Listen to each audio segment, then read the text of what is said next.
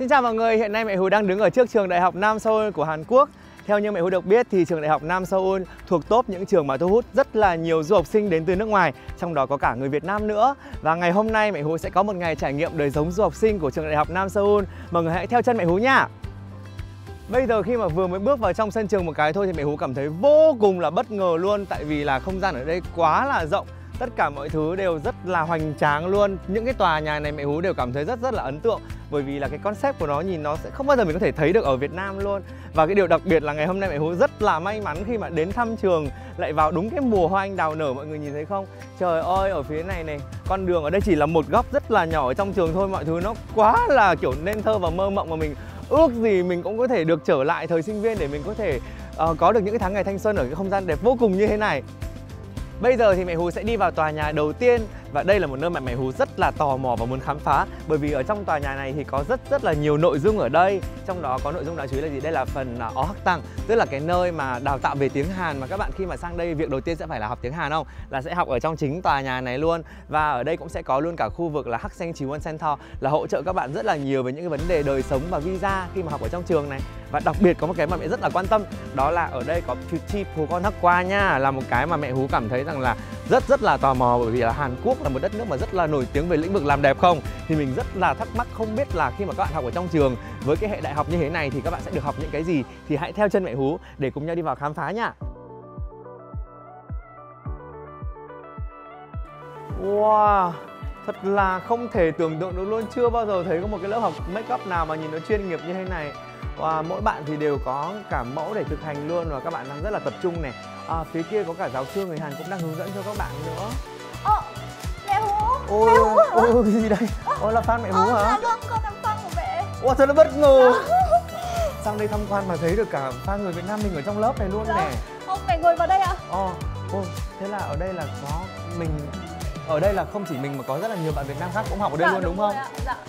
Ồ, dạ, ở bên ồ. kia thì cũng có một bạn và bên kia cũng có một bạn nữa. Ồ, thấy thấy thấy mấy bạn đang chào bạn dễ Ờ. Cảm ơn các bạn nha Dạ. Ồ, thế là mình học ở đây lâu chưa? Dạ, em học ở đây đến năm ba rồi ạ À là năm thứ ba Dạ. rồi Thế thì mẹ Hú rất là tò mò muốn biết là cái trải nghiệm của mình sau 3 năm về cái ngôi trường này thì là không biết là như thế nào ta?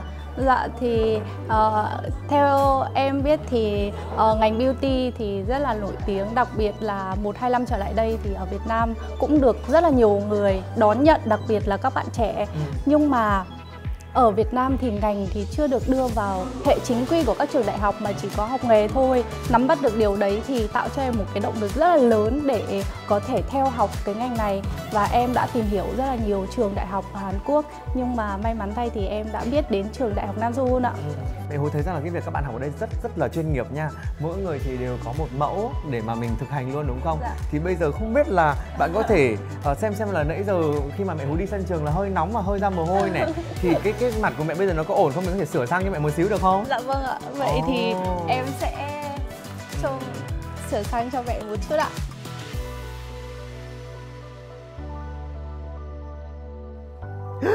오 너무 예쁘잖아? 어떡해 어, 일본만 이렇게 예쁘, 예뻐질 수가 있어? 원래 이뻐요 아 진짜 나도 알고 있었어 Thì ngoài lớp make up thì ở đây còn có lớp chăm sóc da và lớp chăm sóc tóc nữa ạ. Thì hôm nay đặc biệt thì em sẽ giới thiệu cho mẹ Hú về cái lớp ờ, làm tóc và chăm sóc tóc của khoa của em ạ. Thì ở đây thì các bạn ờ, thầy mẹ có thấy là các bạn ở đây là học về tóc, cắt tóc và chăm sóc ở salon. Ờ, đặc biệt thì trường em là ờ, có liên kết với cả doanh nghiệp là một chuỗi salon là ở bên Hàn này luôn thì các bạn sau khi tốt nghiệp thì có thể là vào trong đấy nộp hồ sơ tuyển và có thể làm việc ở tại Hàn Quốc đổi Wow. visa ở đây luôn ạ. Và đây là khu vực nhà ăn của trường em ạ. Rất là bất ngờ luôn, quá là rộng nha, trang trí cũng rất là đẹp Và đặc biệt một điểm ở đây mà em rất là thích đó chính là hàng phở đấy ạ. Nhà À. trường đã đặc biệt ưu ái dành tặng cho học sinh Việt Nam ạ.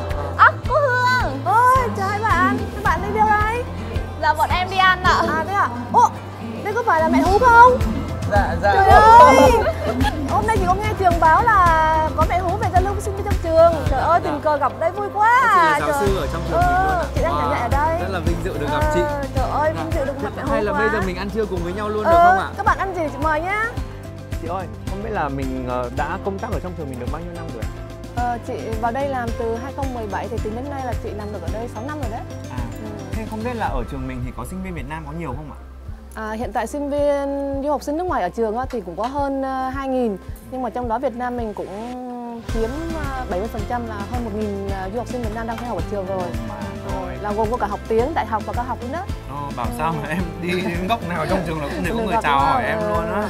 Ăn thôi à, chúng mình sẽ cùng nhau tận hưởng bát phở quê hương Việt Nam ở đây.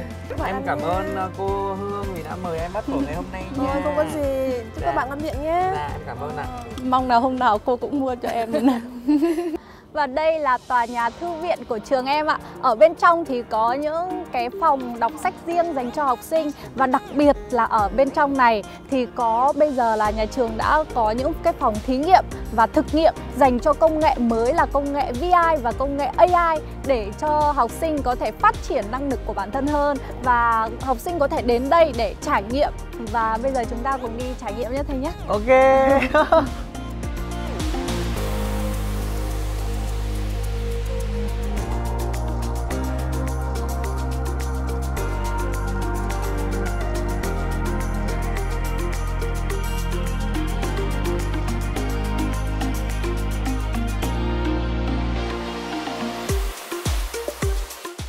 Là tòa nhà thể chất. Bên cạnh những giờ học mệt mỏi thì chúng ta có thể đến đây để ờ, tập bơi này, ờ, đánh bóng bàn này hoặc là tập gym nữa. À, nếu mà như vậy thì mẹ nghĩ rằng là đời sống tinh thần của các bạn sinh viên mà học ở trường này chắc chắn cũng sẽ rất là tốt. Như mẹ Hú đã thấy thì trường con rất là to và đẹp đúng không ạ? Nhưng mà đây là một trong những cái con đường mà không chỉ con mà còn rất là nhiều các bạn học sinh của trường yêu thích là chính là cái con đường mà dẫn vào cái tòa nhà chính của trường ạ. Ở đây thì hoa và lá quanh năm là rất là đẹp, phong cảnh rất là hữu tình thế nên là rất là nhiều bạn đến đây để chụp ảnh và check in ạ. Mình cũng cảm thấy rằng là đây là một ngôi trường mà thật sự rất rất là đáng đến để à, có một cái thời kỳ thanh xuân thật là đẹp cũng như là sẽ có được một cái tương lai rất là tốt. Hiền thì bây giờ là sinh viên năm thứ ba rồi, vậy là mình cũng phải chuẩn bị à, hướng tới tương lai là sau khi tốt nghiệp thì mình sẽ có những cái dự định như thế nào nhỉ? Dạ thì ờ, cái kế hoạch của con là sẽ tốt nghiệp trừ ở trường, sau đó thì sẽ học lên hệ đại học và hệ thạc sĩ. Một phần là để tìm hiểu sâu hơn về ngành, một phần là cũng để tạo lên cái cơ hội việc làm lớn hơn cho mình ở tương lai ạ. Thì con đây cũng chia sẻ thêm về ờ, các cái chính sách để hỗ trợ cho du học sinh ở trường. Đó chính là uh, sau khi các bạn mà tốt nghiệp ở trường thì trường sẽ có những cái lớp để đào tạo topic cho các bạn và các cái buổi meeting với những cái doanh nghiệp lớn để sau này uh, các bạn ra trường thì có thể là vào trong những cái doanh nghiệp đấy để làm việc ạ. Ồ, như vậy là một cái điều kiện học tập rất là tốt luôn hỗ trợ cho chúng ta tối đa từ quá trình mà mình ở trong trường cho tới khi mà mình tốt nghiệp xong là mình cũng sẽ có thể có rất là nhiều những cái lựa chọn tốt để cho mình có thể gây dựng sự nghiệp trong tương Dạ, lai đúng không? Vậy là mẹ Hú đã có một ngày trải nghiệm vô cùng là lý thú ở trường đại học Nam Seoul. Hy vọng rằng qua một ít phút ngắn ngủi vừa rồi thôi thì mẹ Hú sẽ có thể giúp ích cho các bạn trong việc có được cái nhìn rộng lớn hơn và đa chiều hơn về du học Hàn Quốc nói chung và về trường Nam Seoul nói riêng. Mẹ Hú hy vọng rằng các bạn sẽ có thể lựa chọn được những trường đại học thật là tốt và sẽ có trải nghiệm thật là tốt trong quá trình du học ở Hàn Quốc và sẽ có được một tương lai thật là tốt đẹp nhé. Cảm ơn các bạn vì đã theo dõi và cảm ơn. Hẹn gặp lại.